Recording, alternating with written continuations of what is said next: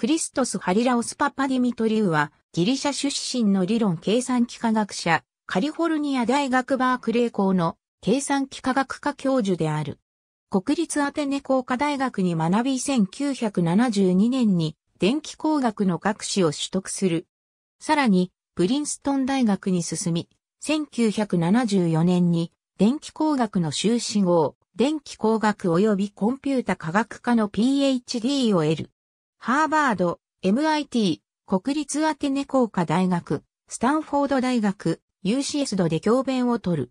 現在はカリフォルニア大学バークレー校の電気工学及びコンピュータ科学科のレスター・ホーガン教授である。2001年にアクメフェローになり、2002年にはクヌース賞を受賞した。複雑性理論、データベースの理論、組み合わせ最適化への貢献により、米国工学アカデミー会員に選出されている。2009年には、米国科学アカデミーに選出されている。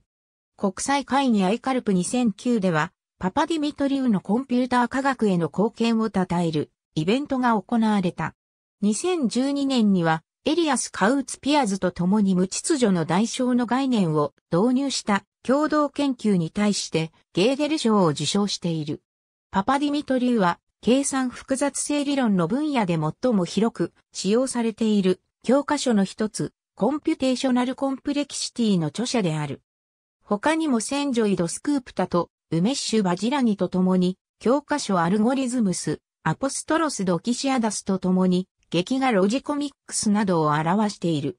2006年にカリフォルニア大学バークレー校で教授と大学院生によるバンドレディ X& The Positive アイガンバリューズに参加している。ありがとうございます。